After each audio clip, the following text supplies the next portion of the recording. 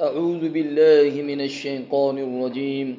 بسم الله الرحمن الرحيم. قل يا أهل الكتاب تعالوا إلى كلمة سواء بيننا وبينكم ألا نعبد إلا الله. ألا نعبد إلا الله ولا نشرك به شيئا ولا يتخذ بعضنا بعضا أربابا من دون الله.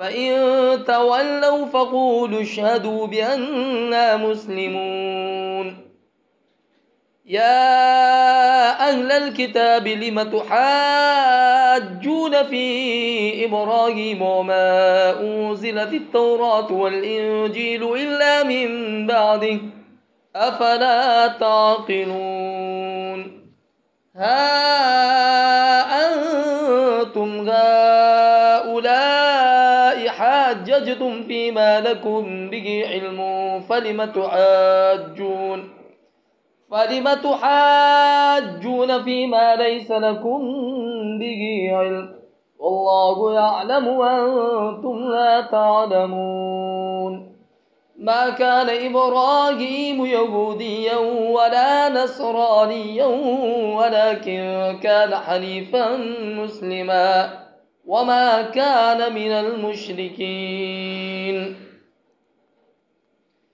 إن أولى الناس بإبراهيم للذين اتبعوه وهذا النبي والذين آمنوا والله ولي المؤمنين.